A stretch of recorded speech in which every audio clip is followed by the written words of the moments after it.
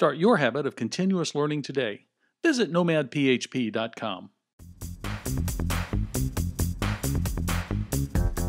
Welcome to Nomad PHP Lightning Talks. I'm Joe Ferguson. Nomad PHP Lightning Talks are 10 minute talks that give a high level overview or an in depth look at a small portion of a PHP related topic.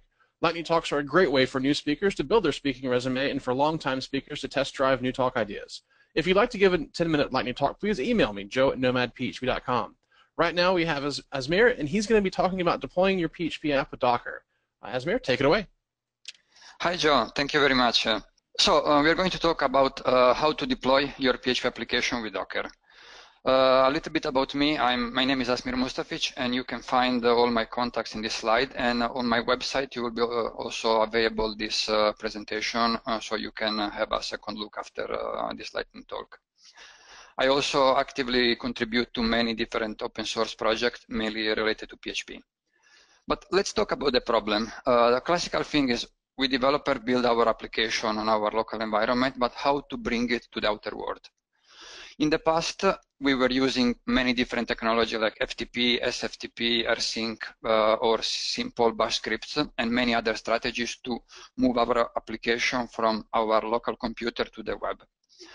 But now there are much more machines, many environments, many tests, many configuration that uh, we want to expose our, with our application, and things starts to get much more complicated. But fortunately, uh, to help us, uh, there is uh, in the last uh, couple of years a uh, tool that raised called Docker, and Docker is a, tool that automates the creation of containers and uh, how to distribute these containers across different uh, platforms. A container is basically a process with a limited uh, visibility on uh, the outer uh, part of the computer, let's say. And uh, the good thing that Docker did for developers is dividing the application from the operating system dependency. So if we use Python for our application, we don't need to have this operating system supporting effectively Python because are two different things. But Docker is not just one tool, it's a set of tools uh, and of course one of these is Docker that is the foundation and it helps to create this container to distribute them. But one container generally is not enough. We have Docker Compose that is a tool to create multi-container application. Generally, one container is for our PHP application, another container is for the web server, another container is for our database. Another interesting tool is Docker Machine. Essentially, Docker Machines allows you to create uh, instances of, uh, especially in the cloud, like uh, AWS instances, the DigitalOcean instances, to install automatically on them the Docker engine that later will be really easily possible to deploy our Docker containers directly on those instances. And another tool that is convenient for developers, this is not officially Docker, uh, is uh, Docker Share. Here there is a link on who wants to try it. Essentially, it allows to share Docker machine configuration between developers. Uh, that's because uh, there is not yet an established standard on how to share Docker machine con uh, configuration between different developers. And this is just one of the many solutions. But let's uh, go back a, a little bit. Uh, once we have created uh, our local environment with Docker, and this is something that I always suggest to start uh, when we have to build a new application. Uh, simplest, the simplest way is to use Docker Compose, and this is an example script of Docker Compose. Here we see a database uh, instance, a database container that in this case is just Postgres, uh, a web instance, in this case is Nginx. We have also a PHP instance and uh, a data instance that essentially is where we store our uh, data. Now we are going to see in details each single of this container, how it's configured. Postgres, we are using the standard Postgres image, so there are no specific configuration, except of that the volumes is essentially where Postgres stores our data. We map them between uh, the in-container directory, that is var lib Postgres data, PG data, to the host folder, in this case I just chose by convenience in the local environment, uh, Docker data, PG data. But let's see something more interesting. Uh, in this case, the Nginx container is built uh, a bit ad hoc. Uh, yeah, in this case is uh, essentially we are just taking the official Docker, the, the, official Docker Nginx image, and we are copying into the etc Nginx folder our custom configuration that can be any of the standard configuration for Nginx. Our PHP container, again, we are using the standard uh, PHP container available on Docker Hub. We are customizing it a little bit, in this case, simply installing Composer and copying some custom PHP ini that uh, can configure our application with some settings a bit uh, more optimized for the app. And this is the data container that essentially keep uh, has our source code. In this case, we are essentially copying the whole uh, current folder into the var www, and we are exposing this uh, folder through the volume command to other uh, containers. We will see later for what is useful. And uh, the data containers are currently maybe not one of the best option because Docker has deprecated. There are many other alternatives, but this is just one of the many ways to do it. Once we have these three files and the Docker Compose file, if we'll uh, just run the command Docker Compose app, we have everything ready. We have our PHP uh, application, we have our Nginx, and we have our storage for the source code. And now we have just to build, test, commit, and repeat the whole uh, process till our application is not uh, good enough uh, to be shared with other people. Okay, once we have completed our process, how do we share our uh, work with other, uh, like how to put, we put it in production or example to staging or how to te we test it. This is the big picture of what we need to do. Essentially, we push our code to some VCS servers, can be GitLab, GitHub, uh, or many of the other possibilities. And later uh, we will trigger a build that, that will create uh, the Docker images. These Docker images will be pushed to the Docker Hub. And later we can decide if deploying effectively these uh, Docker images to production or to some test environment or not. But now we'll go a bit uh, step by step in every part of the process. So as I said, we have to push essentially the code once we have created our lo local application, we have just to push it. Uh, can be that we are storing our uh, source code on GitHub, on GitLab, or, main, or uh, Bitbucket, or many other alternatives. Later, the VCS server will trigger a build. Um, most of the currently hosting like GitHub, Bitbucket, or GitLab uh, offer possibility to integrate uh, that once we push our code, they will trigger some operation. In this case, we will trigger a build by some uh, continuous integration server as Travis CI, CircleCI, Jenkins, or many other. And the responsibilities of the build are essentially to get the dependencies, to run the test, and to prepare the images. Uh, in this case, images are just uh, the Docker containers uh, that we will have to deploy probably in production and of course to push them to the registry. The registry is just a storage where we save our uh, images. And of course, later we can decide, this is an optional part, if putting those images on some test environment or even on production. The build is just uh, a relatively long list of bash commands depending on how complex is your build. In one of the simplest cases is uh, we have to run in the same way how we did uh, in development, we have to run on the continuous integration server, Docker Compose up, that will build essentially all our containers that are necessary. Later, we can uh, execute some custom commands that will configure a bit better our uh, containers. In this case, I'm installing the dependency VS Composer on many other things like installing front-end assets or whatever we want we can run some tests, in this case PHPUnit or uh, whatever we want. And after we have done that, we have to push our images uh, to the Docker Hub. In this case, I'm just rebuilding all the data. I'm logging into the Docker Hub. That is one of the uh, possible registries and is the default in Docker. And with the uh, command Docker compose a bundle minus minus push images. Uh, in that moment, I'm effectively pushing images from the continuous integration server to the Docker Hub. And essentially, that's all in the build phase. now, as a next step, we can decide or not uh, an, uh, a deploy.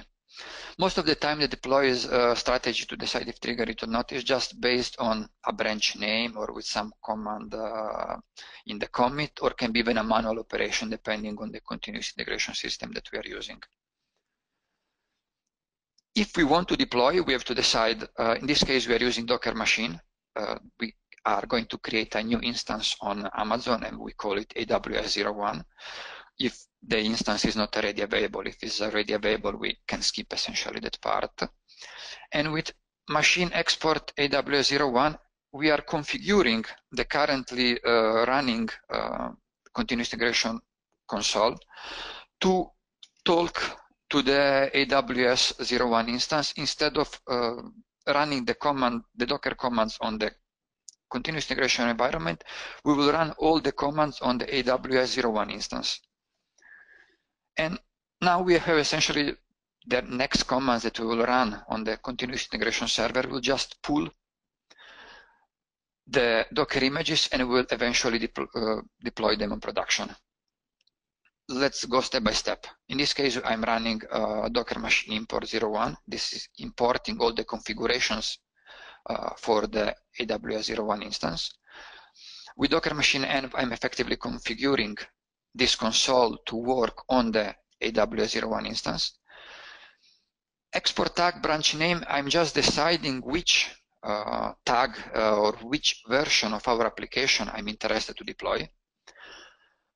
Docker Compose app minus F and a couple of other things uh, is what is going to pull to download the images from the Docker Hub that I have uploaded on the step number three. And the last command, docker compose uh, app minus d, is what is going effectively to put uh, live our uh, application uh, in the version that have this, uh, specified in the tag.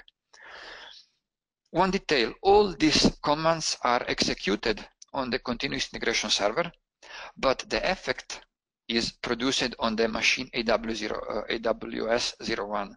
This means that on the machine AWS 01, we have effectively deployed our application. And that's all. In this step, we have uh, we went through the whole process of uh, from our computer, we have pushed our code to the VCS server. We have triggered a build on the continuous integration server that has pushed our images to the Docker Hub and eventually, we have decided to trigger an update of the live or, or, the staging environment to download those images and to put them online, means on production. And as you saw in this case, there was not really a big difference between putting them live or putting them on staging. The only thing that changes is the instance that we decide to uh, deploy our application. Probably some of uh, you have noticed that uh, I used a different compose, uh, Docker Compose file. This is just because in this case, we don't need all the information about how to build the image or and eventually we need slightly different path mappings because on live we will store probably the Postgres database in a different folder. And in this case, there is, uh, as you can see, the tag uh, environment variable. That was exactly uh, with this environment variable, we are deciding which version of our application download. And uh, on the www container, we are exposing the port 80 on the physical machine, or again on the port 80. So our application is available through that port. There are, this is everything that we need to do. Then there are many other options uh, that we can run and probably we need. Some of them are how to run migrations because when we deploy a new application, we might need to update our schema. This again is always done via a continuous integration server and all these commands are executed on the continuous integration server, but the impact on them of them is on the AWS 01 instance. In this case, we can, uh, with Docker exec, we can uh, execute a specific command inside the Docker container uh, to run some migration tasks. Another interesting tip to give is uh, that those Docker Im uh, images can become relatively big. And if you want to make them slower, uh, smaller, you can exclude some of those files because probably not everything is necessary for the production environment compor, uh, comp uh, compared to the test environment like caches, logs, or uh, the whole Git folder where uh, are the information about version control. Another detail about uh, this is more the syntax about the machine import and machine export is that essentially with machine export, we are saving the whole uh, Docker machine uh, configuration into a file that is a target targz. And with Docker machine import, we are importing in our local machine the configuration from the file that we have saved before. We have deployed our application, but uh, that application had some small downtime. And uh, there are many different strategies to avoid downtimes because doing just simply Docker uh, Compose app will tear down all our containers and we spin up new containers. There are many strategies to avoid this that most of the time is about creating a separate project. Uh, in this case, with minus p project up, we decide which is the project that we want to pull up. And with uh, project down, we decide which project we want to pull down. This is one of the strategies to create these blue-green deployments, but here the topics uh, go a bit more complicated because we need to combine many other tools like Docker proxy, uh, Nginx proxy or Docker Gen. But since Docker is a really small piece and there are many other uh, tools that we need to connect to them, it's really easy to compose them. And this is one of the big advantages about Docker. And of course, there are many other uh, advantages of that if our application needs to scale, there are some tools like Docker Swarm or Kubernetes that essentially having almost the same configuration for development, we can deploy our application directly onto a cluster of maybe 10 or 100 nodes with really small amount of changes compared to our development environment. And Docker enabled us to go really faster from development to production and more often to put our code from development to production.